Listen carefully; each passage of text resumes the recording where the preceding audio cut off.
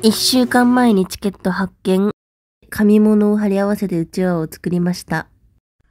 普段は着れないけれど憧れている格好で行きます。名古屋に直行するのは21時40分発があるんですけど、今回は間に合わないので東京での乗り換えを挟みます。中高便のバスだと本読んだりスマホ見たりできるのでいいですね。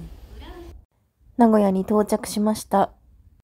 以前コメントで自転車がいいと教えていただいたので、シェアサイクルのアプリを入れて自転車で2.5キロ久屋大通りフラリエに向かいます。テレビ愛知の金土日という番組で井上るかちゃんと青海ひなのちゃんが紹介していた場所です。ひちゃん、るちゃんはチェキを撮るというテーマだったんですけど、私はチェキのカメラとかはないんですけど、すごく素敵な場所でした。カフェフラリエに来ました。お昼ご飯です。美味しかったです。エゴユーナフォースソロライブ恋なんかわかんない子は東京で先月行われて、その瀬戸りも公開されていたので結構予習はしてきました。久屋大通りを歩いてレイヤード久屋大通りパークに向かいます。ソロライブというのも初めてだし、エゴさんの存在が自分の中ですごく大きくて結構緊張しています。公開されたばかりの100年経ったらキスミーの MV 撮影地っぽいところに来ました。劇場も見えるところにありましたし、みんな近いんだなってちょっと位置関係が分かりました。また1キロくらい歩いて会場のダイヤモンドホールに着きます。CD とサイン入りステッカーをゲットしました。ちょっと映像ないところ喋りますと、ダイヤモンドホールは5階で、そこまで登る非常階段の先が入場口かつグッズの先行販売の場所になっていて、17時半くらいかな、整理番号ごとに並び始めた頃にはもうグッズの先行販売は終わっていたんですけど、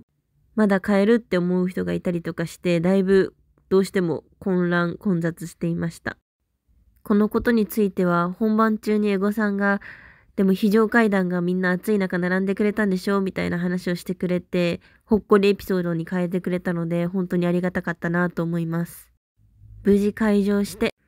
ライブ会場の入り口側の前方が女性児童優先エリアになっていて、私はそのエリアの中の後ろの方にいたんですけど、身長が低い割には、エゴさんの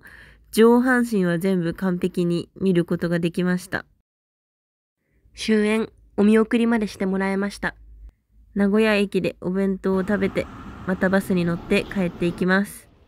帰りも東京で乗り換えて家に着いたのは、ライブの次の日の14時半過ぎでした。感想です。